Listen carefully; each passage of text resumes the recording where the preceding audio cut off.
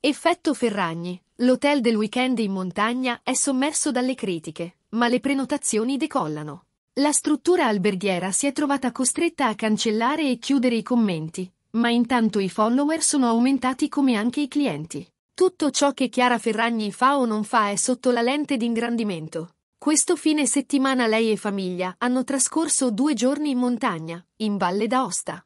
Due giorni all'insegna del relax per l'influencer, ma non si può dire lo stesso per l'hotellerie de Mascognaz. La struttura, infatti, si è trovata a dover gestire una valanga di critiche e attacchi sui social. Il tutto è stato causato dai post e dalle storie dell'influencer che mostravano le bellezze dell'hotel. Tutta pubblicità gratuita nel senso che Chiara e l'hotellerie de Mascognaz non avevano alcun accordo e dalla struttura fanno sapere che Ferragni ha pagato il conto, come una qualsiasi cliente. Dopo aver superato un momento delicato è però arrivato il sereno e l'ufficio stampa della struttura alberghiera ha fatto sapere che sì, l'effetto positivo del post Chiara Ferragni c'è stato. Da ieri abbiamo 10.000 follower in più, un picco notevole confessano al gambero rosso, in meno di 24 ore, il doppio di quanti ne avevamo accumulati in anni di lavoro. E sarebbero aumentate anche le richieste di prenotazioni, non riusciamo più a starci dietro, hanno dichiarato. Nonostante loro non avessero ripubblicato il post di Ferragni le critiche sono arrivate direttamente sul loro profilo social,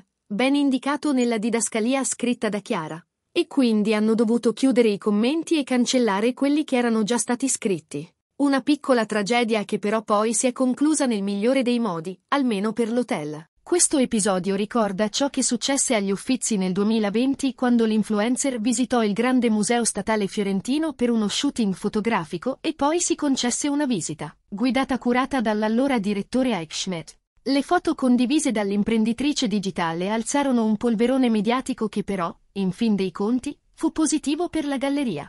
Il museo, infatti, segnò un più 24% di visitatori e soprattutto un aumento dei giovani. Da venerdì a domenica abbiamo avuto 3.600 tra bambini e ragazzi fino a 25 anni. Nel weekend passato erano stati 2.839. Dunque, stavolta sono venuti a trovarci 761 ragazzi in più, con un aumento del 27%, aveva spiegato Schmidt. Certo dal 2020 a oggi molte cose sono cambiate. Il caso Balocco si è rivelato oltre che un enorme errore anche un boomerang, ma un aspetto è rimasto immutato oggi come allora.